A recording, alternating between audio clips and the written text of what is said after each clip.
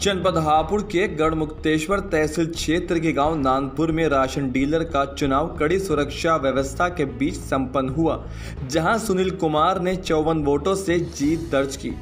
बता दें कि गाँव में राशन की दुकान को निरस्त किया गया था, जिसके बाद यह चुनाव हुए। सहायक खंड विकास अधिकारी भानेश्वर यादव ने बताया कि पाँच माह पूर्व राशन डीलर नरेश कुमार की शिकायत मिली, जिसके बाद दुकान को निरस्त किया गया।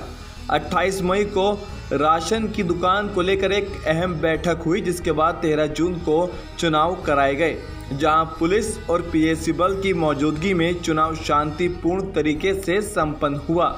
चुनाव में सुनील कुमार और जगत सिंह खड़े हुए थे, जहाँ चौवन वोटों से सुनील कुमार ने जीत हासिल की।